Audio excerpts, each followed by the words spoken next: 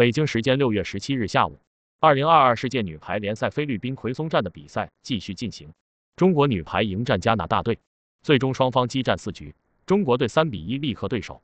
目前联赛总战绩六战五胜一负，此役中国队排出和上一场比赛完全一样的先发阵容，主攻李盈莹、金烨，副攻袁心玥、王媛媛，接应龚翔宇，二传手丁霞，自由人王唯一。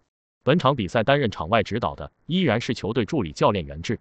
首局开局，加拿大发球连续得分，四比一领先。接下来双方交替下球，李盈莹在自己的发球轮次帮助中国女排八比六超出。中局阶段，女排姑娘们展现网口实力，双方分差被进一步拉大。在今夜发球直接得分后，中国已经十八比十一领先对手七分。最终袁心玥快球得手，中国女排二十五至十六先拔头筹。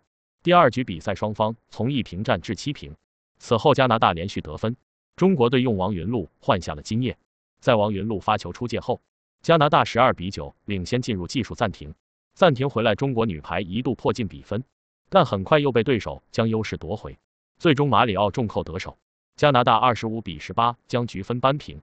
第三局比赛中国女排开局迅速打开局面，王云璐拦网得手后，姑娘们九比四领先对手。接下来，袁心玥的拦网直接打停对手，暂停回来，双方互有攻守。中国女排十二比六领先，来到技术暂停。中局阶段，姑娘们再接再厉，双方分差被扩大到十分以上。最终，王媛媛快球得手，中国女排二十五比十二赢下关键一局。第四局，中国女排取得梦幻开局，六比零大幅领先的同时，逼对手叫了个暂停。接下来两队交替得分，中国队始终把控着局面，在王云璐攻球得手后。将分差扩大到十分以上。末局时，中国女排换上杨涵玉，最终李盈莹后排攻一击命中，姑娘们二十五比十八锁定胜局。本场比赛，李盈莹拿下全场最高的二十分，其中扣球十七分，发球三分。龚翔宇拿到十五分，王媛媛十二分，袁心玥八分，王云璐七分。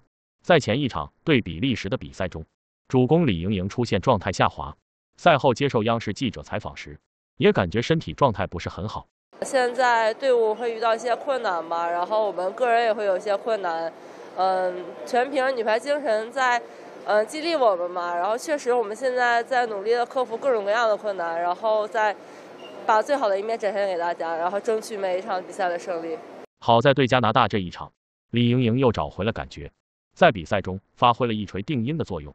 但是在赛后的采访中，她仍然是非常谦虚。你感觉这场比赛怎么样？呃，我觉得我自己这边进攻上可能失误有点多，然后轻球运用上还不是很熟练，然后希望后面能运用更加熟练一点吧。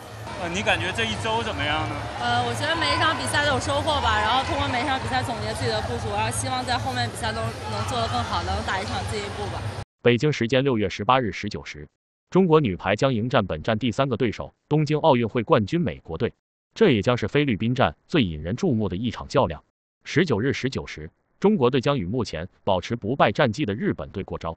对于志在磨合新阵容和获得更多胜绩的中国女排来说，硬仗还在后头，姑娘们继续加油。